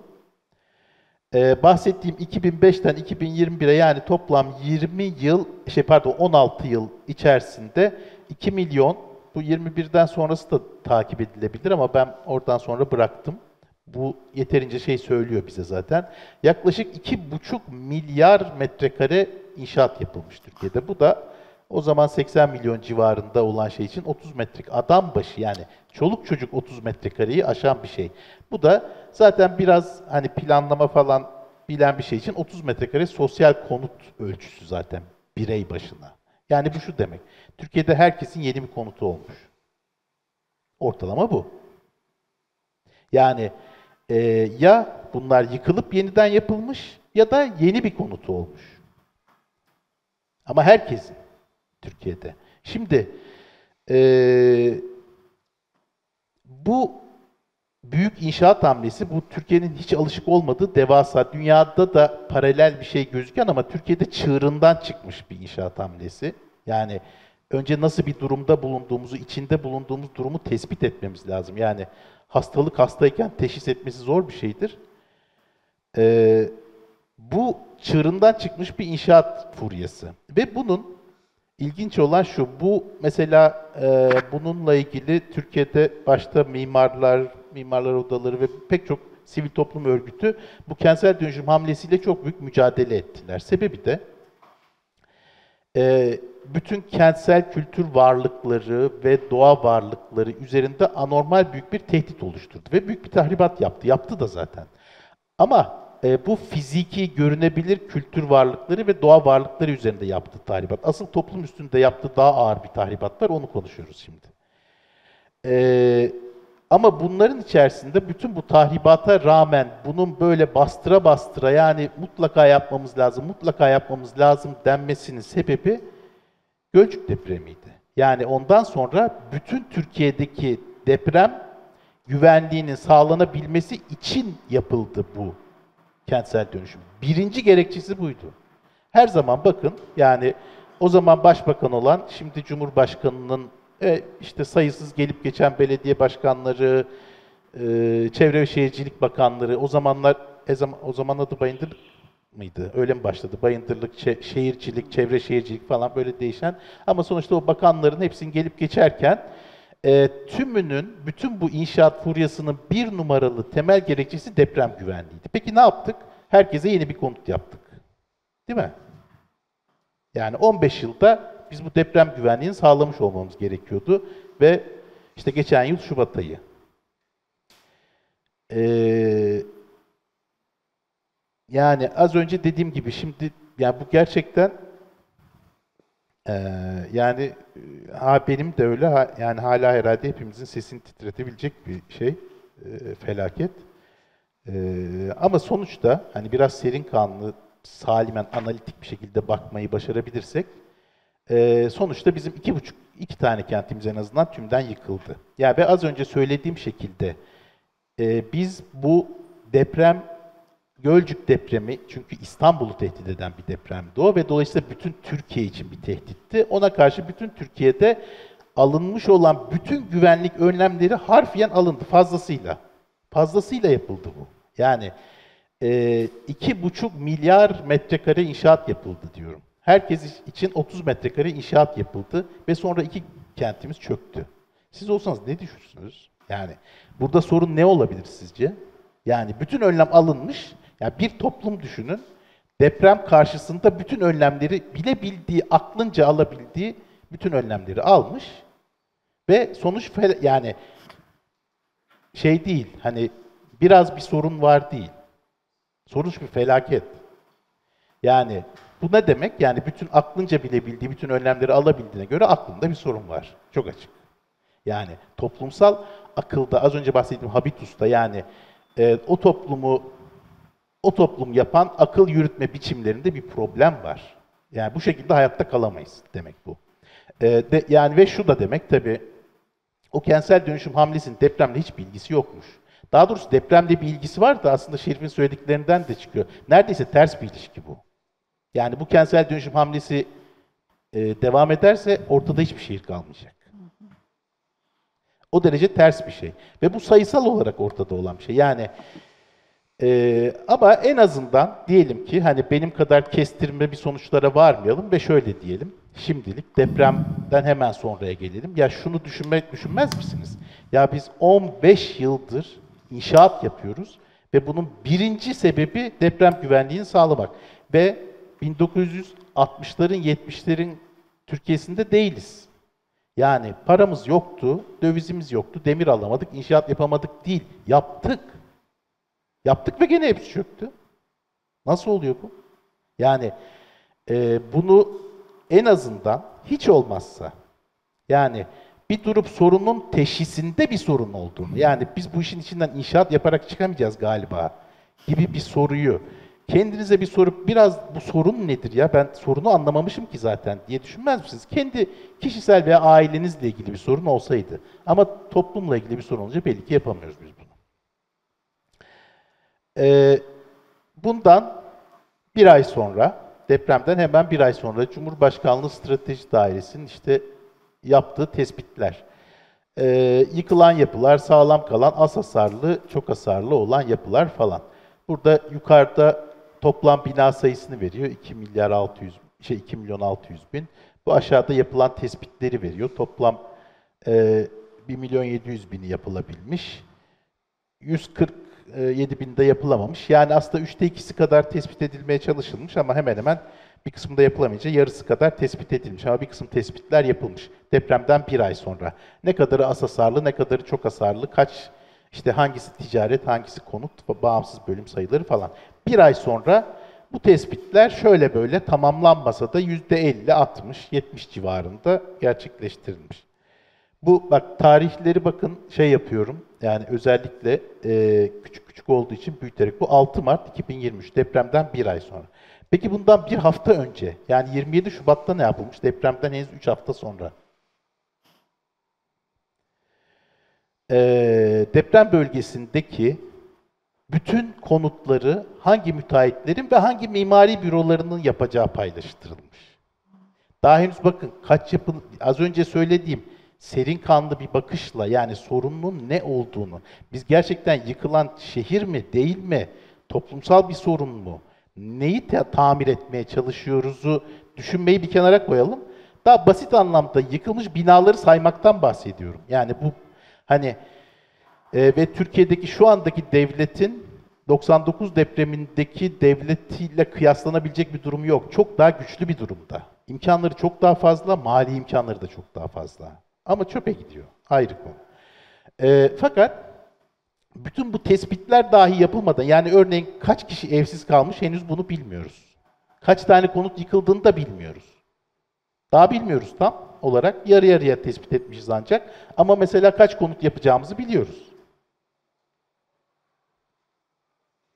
Hatta onları kimin yapması gerektiğini de biliyoruz. Çabucak bir ay içer, bir ay değil, üç haftada. Üç haftada depremden üç hafta sonra. Bu da e, 28 Nisan yani depremden iki buçuk ay sonra. Değil mi? İki buçuk ay sonra bakın. Antakya'nın merkezinin planlaması ile ilgili bir takım e, Şerif'in söylediği bütün süreçler geçilmiş. Yani tespitler yapılmış, katılımcılarla toplanılmış. Tabii yapılmamış da yani. işte iki buçuk ayda öyle bir şey yapılması mümkün değil tabii. Ee, ama Antakya ile ilgili e, bütün e, merkezin daha doğrusu yani çevresi değil ama merkezin az öncekiler genellikle daha çevrede TOKİ'nin yapacağı şeylerdi paylaştırılmış olanlar. E, bu merkezin yani tarihi çekirdeği yıkılmış olan depremde yıkılan en önemli bölge yani Kahramanmaraş Antakya'nın göbeği kısmının kimin nasıl yapacağına karar verilmiş, yapılmış, toplantılar yapılmış. Bakın aşağıda pek çok mimarımız var. Dahası da gelecek. Ee, Türkiye'den tanıdığınız, dünyadan tanıdığınız pek çok mimarlar var. Onlar da bütün bu süreçlerin hepsini tamamlamışlar. İki buçuk ayda hatta master planı kamuya tanıtacak hale de gelmişler. Antakya'nın kamu planı. Ee, şey, e, master planını anlatacak hale gelmişler. 28 Nisan. Bundan sonrası da aynı şekilde devam ediyor kabaca. Ee, bundan aşağı yukarı bir yıl sonra da o süreç pek çok mimarın daha katılımıyla, bir yıl toplantıyla şunla bununla tanıtıldı. Bakın, yine tarihlere dikkat. 30 Nisan, bu yılın 30 Nisan'ında işte bir yıla yakın bir süre sonra o planlama merkezin yani en önemli kısmının aslında kentsel çekirdeğinin tasarımı tamamlandı. Bu tasarım süreciyle ilgili şeyleri de anlatmıyorum ama zaten çok anlamlı olmadığını tahmin edeceksiniz. Ee, işte Türk Tasarım Vakfı denen bir kuruluş nasıl oluyorsa o bunu yürütüyordu falan. Pek çok mimar katıldı. Niye öyle yapıldı? Yani çok önemli değil. Yani önemli de hani onların hiçbirinin ciddiye alınabilir bir tarafı dahi olmadığını gösteriyor zaten. Sadece 3-5 tane tarih. Ee, hemen 10 gün sonra mı oluyor? 12 gün sonra mı? 2 hafta değil yani. Ee, Türkiye Tasarım Vakfı'nın projeleri uygulanmayacak. Hatay TOKİ'ye emanet edilecek. Bak bir yıldır çalışmışlar. Ortada böyle şeyler var. Hani bir yani zaten en başında söylediğim tespitlerin hiç olmaması, yani gerçekten biz neyi yapıyoruz? Bu iş mimarlarla çözülebilecek bir iş midir bir kere zaten? Falan bunları konuşmadık, geçtik. Peki bir ayda, bir yılda bir planlama süreci yaptık ve onu da yani şuradaki plana baksanız daha ne olduğunu anlamanız bir hafta sürer ama bir hafta sonra zaten onu yapmayacakları belli olmuş. Muhtemelen e, Tansel'in dediği gibi zaten onu da yapmayacakları baştan belliydi herhalde değil mi? Belliydi. Yani e, bu süreç sadece ortadaki sayısal veriler bile aslında ortadaki sorunun yani bizim bir kent inşa etmekte, bizim mimarlar olarak bildiğimiz anlamıyla inşa etmenin, yani e, fiziki varlığını kurmanın çok ötesinde bir sorun olduğu çok belli. Ortadaki sorun da onun çok ötesinde bir sorun. Biz yıkılmayan bina yapabiliriz. Niye yapamayalım ki? Sadece o konuyla ilgilenmiyoruz. Sorun o değil çünkü. Ee, bütün kentsel dönüşüm hamlesinin bununla hiçbir ilgisi yoktu. Çıkan veriler ortada. Ve ama biz kendi kendimize yalan söyledik. Ve bütün bir toplum da bunu dinledi. Ama bunu zaten hepiniz biliyorsunuz. Yani İstanbul'da oturanlar da biliyor. Ee, yapılan kentsel dönüşüm adı altında yapılan şeylerin en küçük bir tanesinin deprem güvenliğiyle ilgisi var mı? Yok ki. Hepsi emlak spekülasyonu. Yani eee, doğal olarak deprem güvenliğiyle bunun bir şey yok. Ve bu mesela biz kendi başına siyasetçilere atılabilecek bir sorun değil. Örneğin burada çalışan mimar arkadaşlar, hepsi de arkadaşlarımız. Yani eminim güzel mimarlık yapmaya çalışmışlardır. Ama güzel mimarlığın konuyla bir ilgisi yok. Yani e, bu bizi kurtarmayacak. Sadece depremden değil. Depremden kurtarsan sel de gidersin. O olmazsa yel alır. Ama e, yani toplumsal bir akıl sonuçta kent kurabilecek şeyi geliştiremedikten sonra bizim mimarlık, mimarlığın daha doğrusu öyle bir mecrada tam olarak iyi mimarlıktan bahsetmek mümkün olmaz. Çünkü iyi mimarlık en azından üzerine oturabileceği belli bir toplumsallığı gerektirir. Mimarlık bireysel olarak yapılan bir iş değil. Şehir içi değil. E, Dolayısıyla bu o, sadece bu en basit sayısal veriler bile aslında toplumun bir araya geliş, kurallara uyma, uymama falan gibi bir yığın aslında nasıl diyelim hani diyorlar ya işte hani e, ya işte Türkiye'de böyle oluyor bu işler. Veyahut da Türk toplum böyle bir toplum. İşte onlar bence sonucu bu. Bu kadar yakın bir şekilde bu. Yani ya mesela diyelim Şerif'in anlattığı süreç yani pek çok açıdan ya da Zeynep'in bahsettiği şey yani hem toplumsal olarak ihtiyaçları belirlemek mesela yani e, pek çok savaş sonucu yıkılmış kentler var. Onların iş, inşa süreçleri, yeniden inşa süreçleri, toplumsal hafızayı tazelemek falan, doğal döngülere dikkat etmek, tekrar ele almak gibi hani böyle biraz uzun vadeli bakmak değil de bu buradaki acele şeyi sürdürdüğümüz sürece ve bu konu gerçekten sadece siyasetçilere atılabilecek bir şey değil. Bu bizatihi mimarların aktif aktörü olduğu bir konu. Birincil ajanlarından biri mimarlar bunu. Yani öyle siyasetçiler yaptı denebilecek bir şey değil. Ee, bunu yapmadığımız sürece Türkiye aslında yani her seferinde sadece depreme değil, kentlerin dayanılmaz oluşu yani içinde bulunduğumuz bütün Türkiye'nin doğrularını, Türkiye'nin doğru bildiği ne varsa hepsini tekrar elekten geçirmedikçe bize yani güzel bir gelecek yok. İyi bir mimarlık da yok bence. O kadar kestirme söyleyeyim. Ötesini tartışırız diyorum. Ben yani bütün bu süreçlerde şeyi çok şaşkınlıkla izliyorum hep. Yani bunu şunun üstünden anlatmak ama TOKİ'nin yaptığı tünel kalıplarının üstünden anlatmak. Yo TOKİ bu işte. TOKİ de var burada. Bak TOKİ bu. Ya ondan bahsetmiyorum bile. Ne olabilir? Bu. Depremden 3 hafta sonra üç, yani TOKİ 1 bu. Bak burada geçiyor. Bu bunların hepsi TOKİ özetle. Yani hepsi TOKİ değil ama kısaca öyle özetleyebiliriz. Yani burada- 3 hafta sonra paylaştırmışlardı. Nasıl bilebilirsin ki? Tabii. İkinci TOKİ şurada geçiyor işte. Burada bir aylık, bir yılda yapılmış olan şeye 3 hafta sonra, yani Evet. ne 2 hafta, yani 10 gün sonra TOKİ'ye yapılacağını söylenmiş oluyor. Yani TOKİ buradaki tabii ki yani izanı en çok kaçmış olan aktörlerden yani birisi. onun görselini de koymak lazım. Çünkü görseli çok Ha, çarpıcı. yok ben bunun görselini de koymuyorum. Ben bunun yani ne üzgünüm ama hani orada mimarlık üzerine konuşabileceğimiz bir şey olmaz. Gerek yok yani.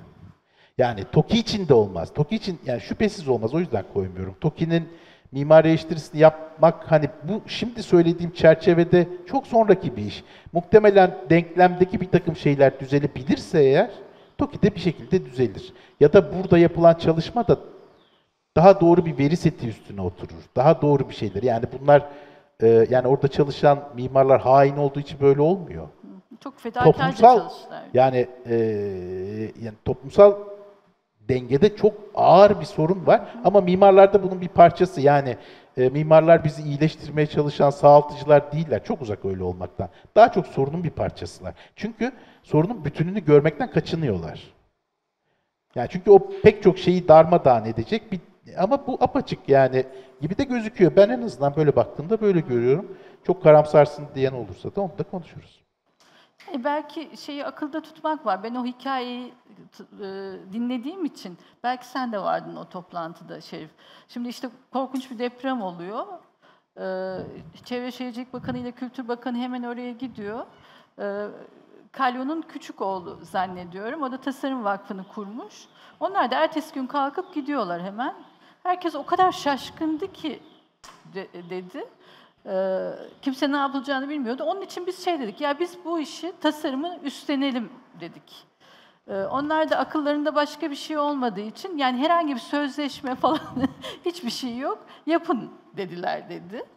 Ee, peki nasıl yaptık bu kadar, işte nasıl ilerledik, neye güvenerek ilerledik dedi. Sadece çok iyi yapacağımıza ve bir alternatifi olmadığına güvendik dedi. Buraya kadar geldik dedi. Ve dedi benim bundan sonraki amacım yani o bütün- müteahhitlik işlerinden çekilmiş. Ben afet sonrası yani o Türk Tasarım Vakfı afet sonrası tasarım işiyle yani müteahhitlik işlerine hiç bulaşmayacak dedi. Sadece tasarımı e, koordine etmek, organize etmek gibi bir derdi olacak. Şimdi mimarlar için de şöyle bir şey var. Şey diyebilirsin hakikaten, bir dakika bu düzende hiçbir şey yapılmaz. Yani hani şey Bahal, e, Siyam'daki tartışmalar var ya önce devrim mi yoksa hani işte Corbusier'in tartışmaları mı falan. Yani o tabii tuhaf bir ikilem. Yani şey denebilir. Hayır biz bir şey yapmayacağız çünkü Türkiye'nin korkunç bir şeyi var. Ee, Veya işte şöyle bir şey çıkarmak mesela bana iyi geliyor. Onun problematikleri iyi geliyor. İşte Akdeniz mimarlığı araştırması.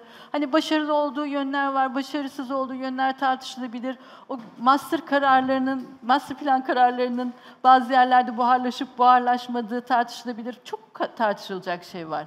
Ama bütün tartışmanın Türk Tasarım Vakfı e, şeyi üstünden yapılıp o tünel kalıplı bütün Hatay'ı şey parsellemek ve kapatmak işte o 400 kişilik bürolar falan onların yaptıkları işler konusunda hiç konuşmamak bana iyi gelmiyor sonuç olarak.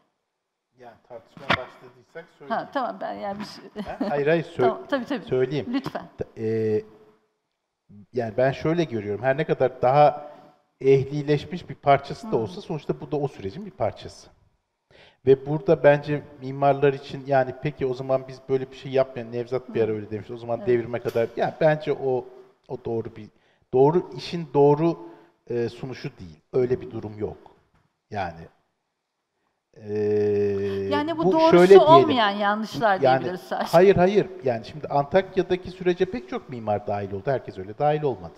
Kimisi o TOKİ işine bak- yaparak dahil oldu. Kimisi buradaki şeyi yaparak dahil oldu. Başkaları da başka şeyler yaparak dahil oldu. Yani Aynı zamanda şey oradaki merkez bölgedeki konutları yapan ekipler biriyiz. Ee, bu bahsettiğiniz mimari ekip az önceki sunumda biz de vardık.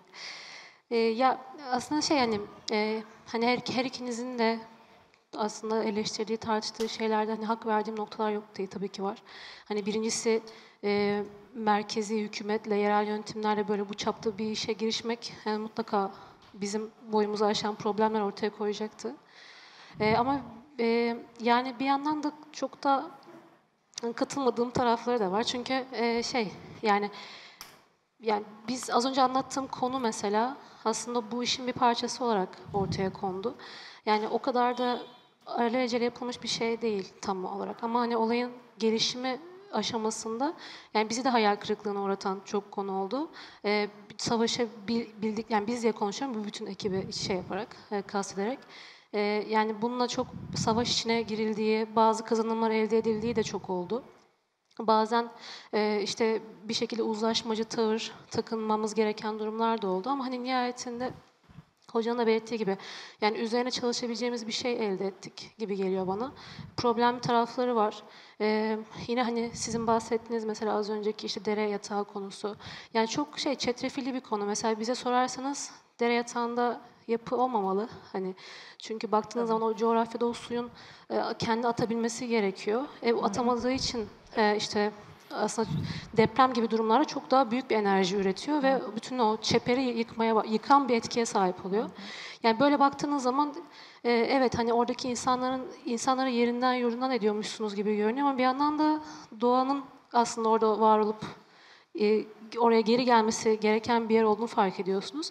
Yani çok şey bir yandan da bu konuları biz aramızda tartışırken e, hani merkezi yönetimin aktörlerini de bu konuda ikna etmeye çalışırken düşünün bir de hani biz bir şekilde sağduyuya varabiliyoruz birlikte ama hani orada konu ve gündem bambaşka olabiliyor. Yani e, o yüzden şey çok karışık bir konu. Bence her yani sizin anlattığınız kısımlar dediğim gibi hani çok benim e, haklı bulduğum noktalar var ama birazcık da böyle acaba hani biraz daha böyle sıkı bir ilişki kurulsa e, bu, bu tür hani sizin eleştirilerinize en azından bir başka bir tarafın cevap verebileceği, üretebileceği şey. Yani şu an aslında ben onu yapıyor gibi oldum ama yani gerçekten düşündüğünüz kadar hızlı gelişmedi süreç. Onu söyleyebilirim. Çünkü biz başından beri çok şey içimiz rahat bir şekilde içinde olduk. Hala içindeyiz. Yani dediğim gibi çok hani problem tarafları var ama hani üzerine çalışabileceğimiz bir şey var. Elimizde bir bir, bir şey var tutabileceğimiz ve e, daha çok desteğe ihtiyacı olan bir şey aslında. Hani bunu söylemek istedim. Teşekkür ederiz. Ben sadece şu hazır bu konuda çalışırken Tansu Hoca da orada söyledi. Bir konuda yanlış anlaşılmamak için şunu net bir şekilde ortaya koymak istiyorum. Ben hani e, asi kenarında bir yeşil bant açılması kararı yanlıştır demiyorum. Bu kararın nasıl alındığı ile ilgili bir problem var. Siz bu kararı, yani dünyanın doğru tasarım kararı, doğru dediğinizde yani doğru bir değil orada. Yani az önce köy garajları için söylediğim ya da başka mekansal, yani kentsel mekanla ilgili söylediğim bütün kararlarda olduğu gibi. Burada bir tane doğru yok. Birden fazla doğru var. E, yanlışlar var tabii. Yani gidip derenin ortasına bir tane gökdelen dikerseniz olmayabilir. Ama e, bir tane doğru yok. Çok fazla doğrular var. Bazıları e, her plan kararında e, plan kararını kaybedenleri olur. Kazananları olacak. Ve aynı zamanda bu karardan dolayı hak kaybı yaşamayanlar olacak. Yani bu bir aynı zamanda müzakere süreci ve siz burada masaya oturttuğunuz zaman e, o insanları karşılıklı olarak bunu müzakere etmeleri gerekiyor. Hepsi, hepsi birlikte memnun olmayacak bu karar sürecinden. Ya doğru karar, hani biz idareyi şu konuda ikna etmeye çalışıyoruz diyoruz ya. Ben burada buna bir soru işareti koyuyorum. Çünkü biz ne adına ve neye ikna ediyoruz? Böyle bir vizyon olabilir. Ama bu vizyon şimdi sel konusunda mesela Hollanda bizden çok daha fazla sorun yaşayan bir ülke. O gösterdiğim örneklerden bir iki tanesi bir tanesi Hollanda'ydı. Bir tanesi Almanya Elbey'di. Şimdi bunlar nehir kenarı şey e, yapılaşması konusunda olağanüstü teknik yani. Su, orta çağdan başlayarak da su sistemi organizasyonu ya da su kontrolü konusunda çok teknik e, mücadeleler varmış. Toplumlar bunlar ve buldukları çözümler içerisinde hani yatağın genişletilmesi, e, kalkan duvarlar oluşturulması, kenardaki ilk katın sağır hale getirilebilmesi vesaire gibi sayısız şey var. Yani teknik çözümler çok. Bir tane teknik çözüm vardır diyemeyiz ve şehir içerisinde Antakya'da şehirde çocukluğumu da geçirdiğim için biliyorum. O e, nehrin ana problemi aslında şey, yani tabii ki modern şehirde dere yatağını geniş bir şekilde e, düzenlenmemiş şekilde bırakamazsınız. Londra'nın orijinal mesela Thames Nehri'nin dere yatağı yaklaşık böyle yüzlerce metrelik bir şeydir. Hatta şehir Londra'nın orijinali Roma döneminde bir ahşap köprü üzerine kurulu. Ahşap köprüyü yapıyorlar önce Romalılar ve devasa bir köprü sonra taşra dönüyor. O devasa köprü e, nehir, nehir üzerindeki o bağlantıyı sağlıyor. Aslında o köprü şehir başta. Şimdi siz bu konuya teknik sayısız çözüm bulabilirsiniz. Antakya'da da aslında sorun iki kademeli bir çözümün doğru, iyi şekilde kotarılamaması ama bunu şimdi kağıt üzerine ezbere yazıyorsunuz. Formül verir gibi diyorsunuz ki dere aksından işte iki tarafa 80 metre çekilecek. Ya kardeşim bu böyle çözülecek. Ya bana anlatmayın en azından. Ben böyle bir şey ikna olmam yani. Şimdi bu bir makine mühendisiyle konuşuyorsunuz. Diyorsun, diyor ki ya bu şekilde e, fanları ben buraya koyamam, şuraya koymam lazım falan dediği zaman bir mimar zaten burada hemen yanına soru işareti koyar. Yani niye oraya koymuyorsun? Ama o insan yapımı bir şey. Evet. Biz şimdi asiden bahsediyoruz. Ama Asi'de de peki o zaman ben bir adım daha ileri gideyim. Asi'de o zaman dere yatağının tekrar yani nehir yatağının düzenlenmesi lazım. Tabii, Belki de şüphesiz. kalkan Toprak- duvarı yapacaksınız ya da o tekrar yatağı açacaksınız, Yatağı kademelendireceksiniz. açmak, Ama o şu anda yok vizyonda. Evet. Yani dolayısıyla neyse ama o teknik konulara geçelim. Benim asıl nokta bir vurgulamak istediğim şey şu. Ben daha çok şu, işin şu kısmıyla ilgileniyorum. Şehirde şayialar ortaya çıkmaya başlıyor. Ve şimdi biz bu işlerle ilgili ne yaparız, ne ederiz bu konuyu anlamaya çalışıyoruz, konuşuyoruz. tartışıyoruz. İbrahim Seyfettinoğlu adında bir şey var. Çok değerli bir Antakyalı iş insanı var. O yanında işte e, Mehmet Günay'la beraber gelmişti. Burada bir yerde oturup konuşuyoruz. Mehmet Günay tabii iş gereği önce telefon konuştuğla konuştuğu için hiç böyle bizi dinlemedi. Yaklaşık böyle bir yarım saat şey uzaktaydı. Sonra geldi dedi ki Mehmet Günay otomotiv e, konusunda Antakya'da bir iş adamı, girişimci. Şimdi Mersin'e taşımış işlerini. Bana dedi ki siz ne yapmaya çalışıyorsunuz? Ben sana söyleyeyim mi dedi. Nasıl, nasıl yapacağınızı söyleyeyim mi ben size dedi. Sana dedi. Ve sonra bana Nakliyeciler Odası'nın gündemini nasıl oluşturduğunu, nasıl çalıştaylarla oluşturduğunu böyle yaklaşık bir 10 dakika anlattı. 10-15 dakika anlattı. Şimdi tabii ki şehrin imar kararları biraz daha kompleks yani Nakliyeciler Odası'nın kararlarından daha kompleks ama o anlatırken ben şunu fark ettim. Bizim Nakliyeciler Odası gündemini ve kararlarını çok daha demokratik şekilde belirliyor. Devrim, hani nakliyeciler kendi içinde bir devrim yapmadı herhalde. Ama imar konusunda böyle bir şeyimiz yok bizim, alışkanlığımız yok. Bunun sebebi abitus, evet yani öyle. Biz mesela bunun nedenlerini bence çok detaylı anlamalıyız yani. Ve diyelim ki Pierre Bourdieu falan gibi bir sosyoloğun bizim inşaat ya da beton, beton demeyeyim de inşaat diyeyim, toplam e, inşaat ya da imar abitusunu anlatması lazım. Ama emin olun ki, benim sezgim o ki ve iddiam da o ki, o bunu anlattığı zaman biz mimarlar olarak bundan çok hoşlanmayacağız anlattığı şeyden. O imar abutusunun şeyinden. Ee, plancılar hoşlanmayacak. Meslek odaları hoşlanmayacak onu anlattığı çıkarımdan. Yani bu iş neden böyle? O işin şeyleri. Sadece Arsuz'un, yani çünkü bu kapalı sistemin asıl kar edenleri kimlerdir diye baktığınız ve ona göre bir soru sormanız gerekiyor. Yani sadece Arsuz'un mesela kıyı kullanım hakları ile ilgili oturup şimdi yarım saat konuşabiliriz ve ben size sadece o plan üzerinden gösterebilirim onun neden öyle olduğunu. Ve bu halkın neden bu imar kararlarına güvenmediğini, neden Kafka hikayesinde olduğu gibi bürokrasinin arka koridorlarında ikinci ve yazılı olmayan bir kanunla bu işlerin yürüdüğünü anladığını ve ona göre davrandığını söyleyebilirim.